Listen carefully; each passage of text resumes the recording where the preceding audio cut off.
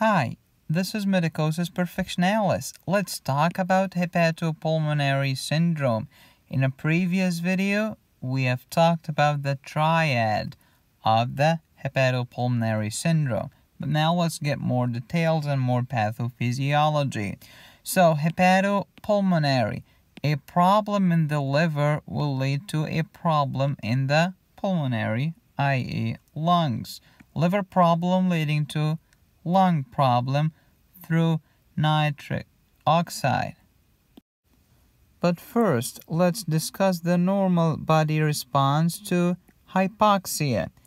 Any tissue except the lung responds to hypoxia by vasodilatation, i.e., increasing the lumen of the blood vessel. And this makes sense. Why?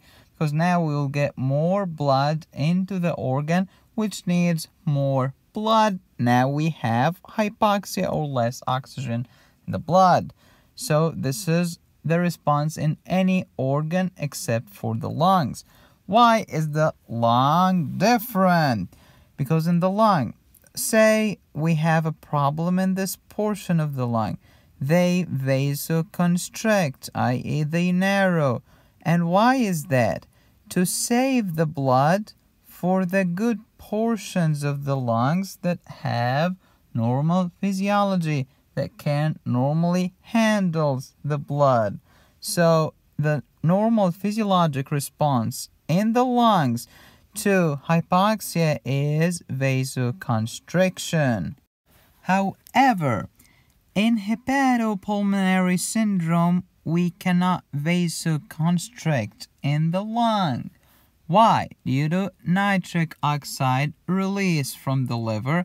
The liver is cirrhotic or suffer from portal hypertension, releases nitric oxide in the bloodstream, goes into the lung. These blood vessels, so here is the alveoli and the blood vessel. The, the blood is really flowing quickly from the arterial end to the venous end. So there is no time for gas exchange. So it's a shunt.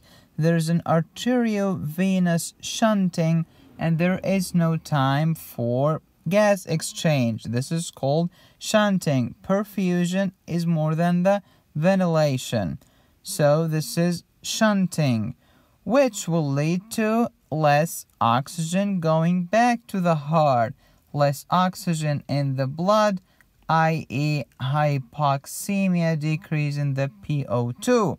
So, this hypoxemia, of course, will lead to hypoxia, and the response to hypoxia through the kidney producing a hormone called EPO is absolute erythrocytosis.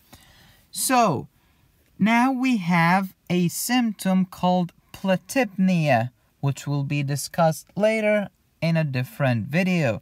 But for now, you got the idea behind hepatopulmonary syndrome. I cannot constrict the blood vessels in the lung as I normally do, so there is arteriovenous shunting, hypoxemia, and hypoxia. So it's a good idea to measure what? The oxygen saturation by pulse oximeter. Also, note that these patients with hepatopulmonary syndrome, they get priority in liver transplant because maybe if we waited so long, if we wait so long, it will be permanent and there will be no hope. They get priority. Thank you very much for watching the video. If you like the video, please subscribe. There are new videos coming on the way. So, give it a like. See you next video.